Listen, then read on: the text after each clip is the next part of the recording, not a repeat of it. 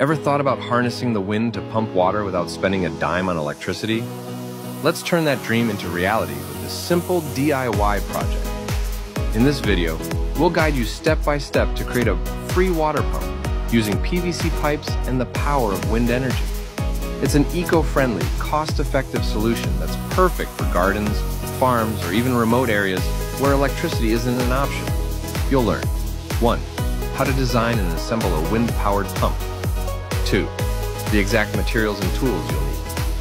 3. Tips to maximize efficiency and durability.